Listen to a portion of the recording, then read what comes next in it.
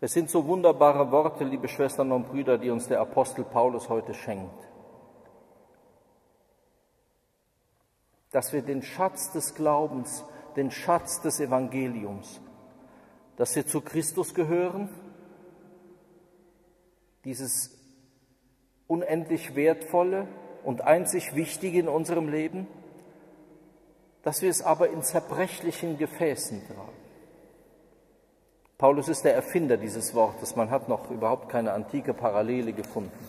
Sonst forscht man ja immer und sagt, der Paulus ist nicht so innovativ. Hier aus einem tiefen Erleben heraus, aus einer tiefen geistlichen Erfahrung heraus spricht Paulus.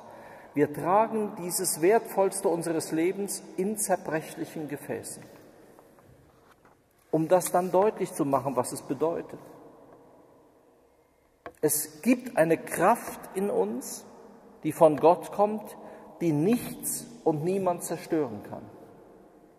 Eine Stelle im Römerbrief, wo er sagt, weder Engel noch Mächte, noch Thronen, noch Gewalten, weder in der Höhe noch in der Tiefe, nichts kann uns von der Liebe Christi scheiden. Hier ist das ganz ähnlich.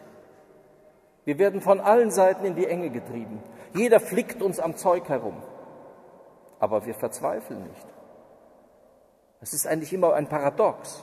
Wir wissen nicht ein noch aus, aber wir verzweifeln nicht. Wir werden gehetzt, aber wir sind nicht verlassen. Wir werden niedergestreckt, aber nicht vernichtet. Denn, und das ist die eine Seite der Zerbrechlichkeit, wir tragen das Todesleiden Christi, wohin immer wir gehen. Und wenn wir dieses Todesleiden Christi nicht an unserem Leib tragen, ist unsere Verkündigung falsch.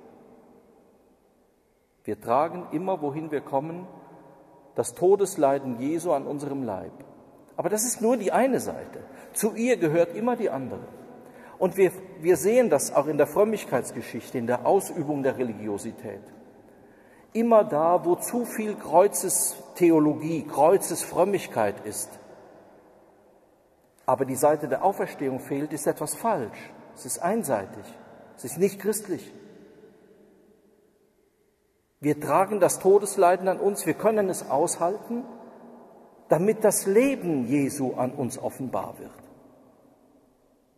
Denn er ist der Lebendige. Die, gerade die westliche Theologie ist immer in der Gefahr, sozusagen die Realität des Kreuzes. Da haben wir etwas, woran wir uns halten können. Und gerade neuere Theologie mit der Auferstehung wissen sie nicht so viel anzufangen. Das ist verhängnisvoll. Aber hier berühren sich moderne Theologen mit einer sehr, mit einer Frömmigkeitsecke, die man eher als konservativ betituliert, obwohl sie das nicht ist, denn sie bewahrt nicht das Eigentliche. Wir sehen, immer sind es die Extreme, so unterschiedlich sie zunächst von außen aussehen, sind sie doch gleich. Es ist nie die gesunde Theologie, die uns ein Paulus vermittelt. Es ist die Erfahrung der Zerbrechlichkeit, die uns unmittelbar in das Erleben der Auferstehung führt. Weshalb man diese Kirche, weshalb man die Kraft Christi, das Leben der Auferstehung nicht zerstören kann. Seit zwei Jahrtausenden versucht man es. Man versucht es von außen und man versucht es von innen in der Kirche. Aber es ist nicht zu zerstören. Denn es ist nichts Gemachtes, nicht Menschliches, nichts Eingebildetes, sondern es ist die Kraft Gottes, die sich hier zeigt. Sowohl im Kreuz im Todesleiden Jesu und vor allen Dingen in seinem Leben. Jede Eucharistie erinnert uns daran, dass es beides ist. Dass wir mit Christus hineingezogen werden in sein Leiden, in sein Zerbrochenwerden, um genau darin das Leben der Auferstehung zu finden.